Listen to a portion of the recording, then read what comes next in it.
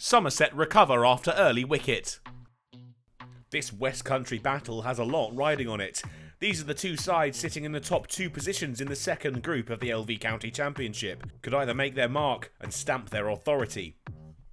After winning the toss, with clouds overhead, the hosts took the decision to field, and it paid off in just the first over.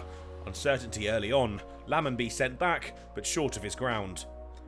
Somerset recovered from the early wicket though, Byrom now with his captain Tom Abell, and the pair took the total to the cusp of 50 runs. But rain stopped them in their tracks, an early lunch taken with the score 45 for 1. And they wouldn't be able to return. The weather that had sent them from the field stuck around, and the day was brought to a close with no further play possible.